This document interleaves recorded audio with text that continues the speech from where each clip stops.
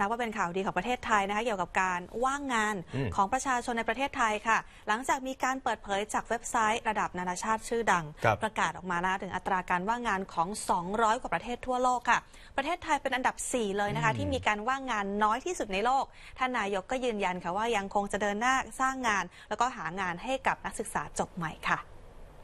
โดยพลเอกประยุทธ์จันโอชานายกรัฐมนตรีนะคะก็ได้แสดงความยินดีค่ะ หลังจากทราบข้อมูลจากเว็บไซต์ tradingeconomics.com นะคะที่นำเสนออัตราการว่างงานของ 215 ประเทศทั่วโลกค่ะผลปรากฏออกมาว่าประเทศไทยนั้น มีอัตราการว่างงานน้อยที่สุด เป็นอันดับทีสี่4 ของโลก ก็คืออัตราว่างงานเนี่ยมีเพียงร้อยละ 1.2 เท่านั้น จากจำนวนประชากรทั้งหมดราว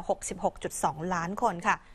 ท่านนายกยังย้ำอีกด้วยนะคะ ว่ารัฐบาลพยายามที่จะควบคุมอัตราการว่างงาน ให้อยู่ในระดับที่เหมาะสม และส่งเสริมให้คนไทยมีงานทำค่ะ เข้าถึงการจ้างงานที่สะดวกรวดเร็ว เพื่อที่จะให้มีรายได้เลี้ยงดูตัวเองแล้วก็ครอบครัวได้ เช่น จัดตั้งศูนย์บริการจัดหางานเพื่อคนไทยทั่วประเทศนะคะ มีการจัดกิจกรรมนัดพบแรงงาน การจ้างงานผู้สูงอายุ คนพิการแล้วก็นักศึกษา มีบริการแนะแนวอาชีพ จัดตั้งกองทุนเพื่อผู้รับงานไปทำที่บ้าน รวมถึงบริการจัดหางานบนมือถือผ่าน Smart Job Application เป็นต้นค่ะ แล้วก็ยังกำชับให้กระทรวงแรงงานนะคะบูรณาการร่วมกับทุกฝ่ายเลย เพื่อแก้ปัญหาการว่างงาน โดยเฉพาะอย่างยิ่งผู้ที่จบปริญญาตรีให้มีงานทำโดยเร็วค่ะ